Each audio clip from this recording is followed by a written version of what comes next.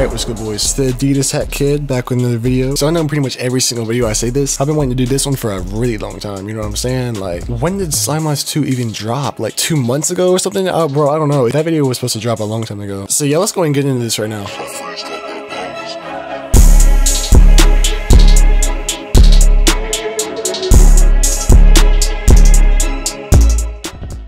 So yeah, y'all heard the sample. Y'all know the first thing in here is a trumpet.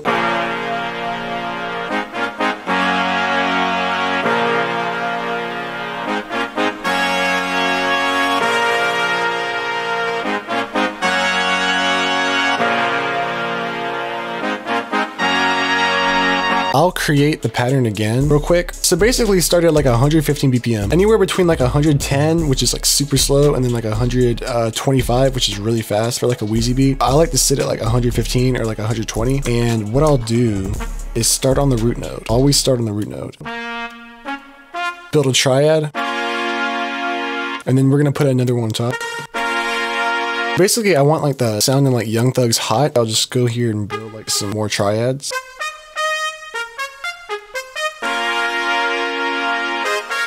Just like that. And then I'll go on like, uh, I think it was F sharp.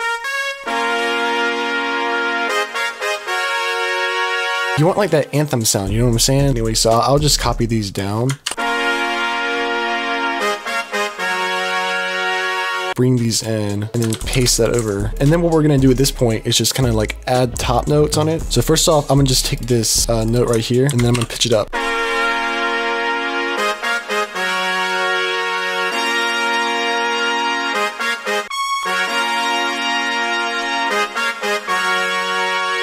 Let me just paste all this over again. The original was actually pitched down an octave though, so let me just go higher.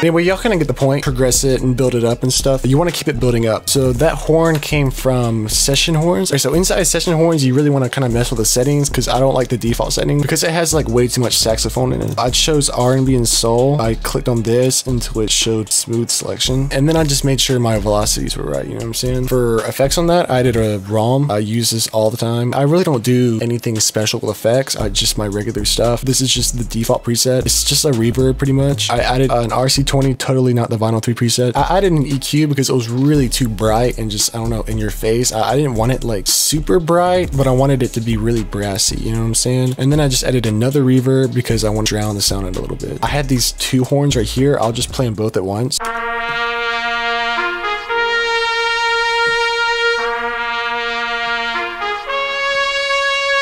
And then I just kind of pasted that over. Basically, this is just one of the layers right here and then the other.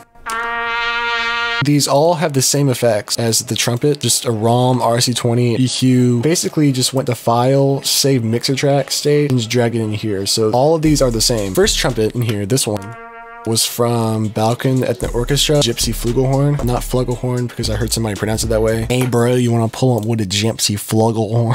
oh, got the whole squad laughing with that one, bro. And then the second one I had was this one.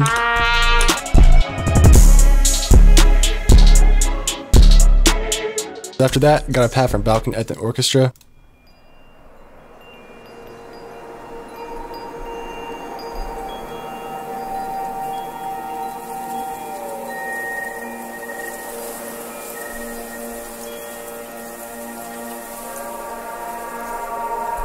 Anyway, so I, I wasn't really a fan of like the lack of rhythm. I added this low violin.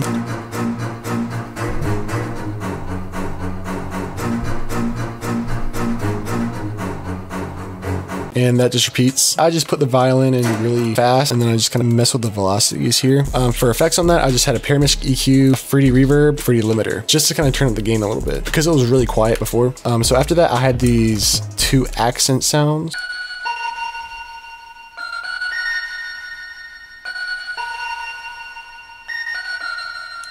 Anyway, so this is the first part of the layer. And the sound for that is from Sonic Forest. It's like a really underrated mallet and like bell bank. It's really cheap. It's like $20. I really highly recommend it. Uh, anyway, I just added a Parametric EQ to that. And then I layered that with a Celesta. Uh, the Celesta had an EQ on it, had an RC20, and then a fruity limiter just to kind of turn the gain up on it. Sounds pretty good with the trumpets.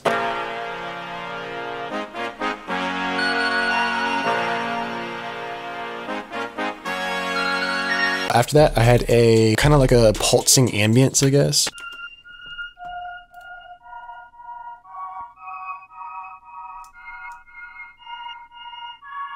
And then basically this half repeats over here. So yeah, how I made that was I had this pattern right here.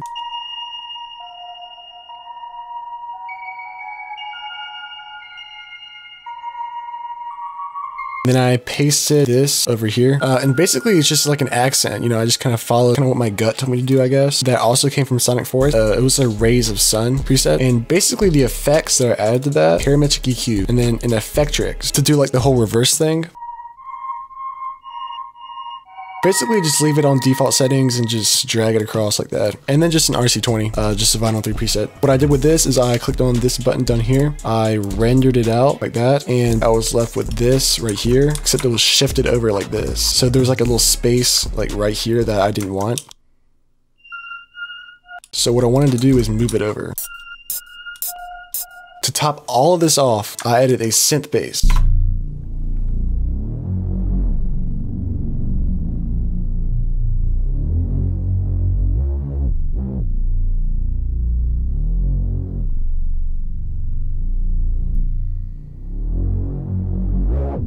Uh, basically, it just follows the root notes. That synth bass is from uh, Bass 1 in Pilgrim Mirage. Uh, I didn't have any effects on that.